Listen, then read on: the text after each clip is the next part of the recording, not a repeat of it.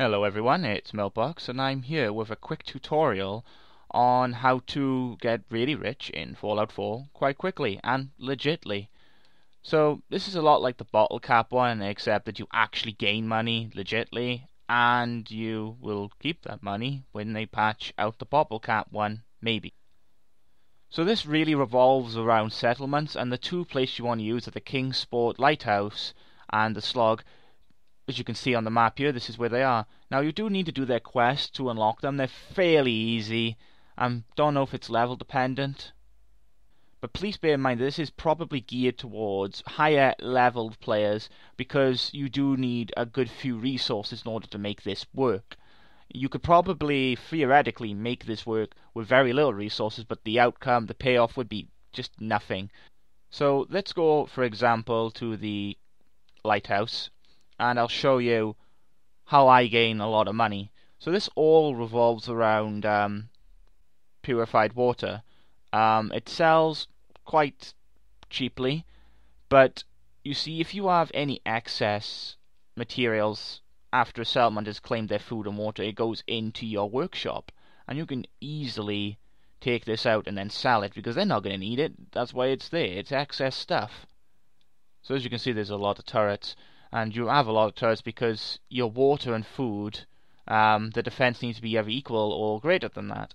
So this is my water purifying machines now. These do cost a lot to build. They're the last one, the industrial one I think the name is. They do cost a few things to build and there are a few traders. There is Goodneighbor, and there is some in Diamond City who you can just buy shipments off.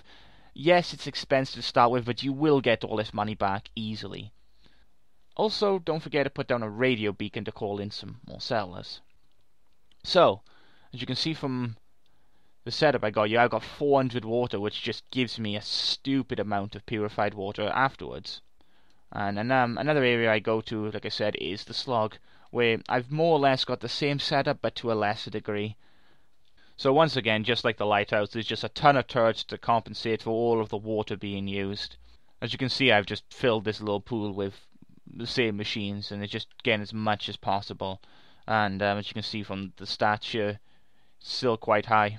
So there are a few perks attached to this. You don't require them. No, no perk is required for this except that this is made much easier by having the perks. You want Cap Collector level 3 because this lets you invest 500 caps into a store. And this one is uh, the Strongback um, you just want to upgrade that to level 3 at least. Level 4 isn't necessary, but it may help if you just want to go around picking up things. But level 3 is what you need, just to run around so you can sell things that little bit quicker. Without these two, it's really a grind and it takes forever to sell things. So I stored everything in this little box here. This is where all the purified water goes, and also there's three articles of clothing.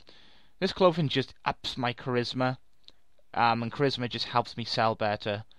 Um, um, you may want or as many perks as you can from the books, the ones that up your charisma or make selling prices better, but it's not really necessary, but everything to do with charisma just helps.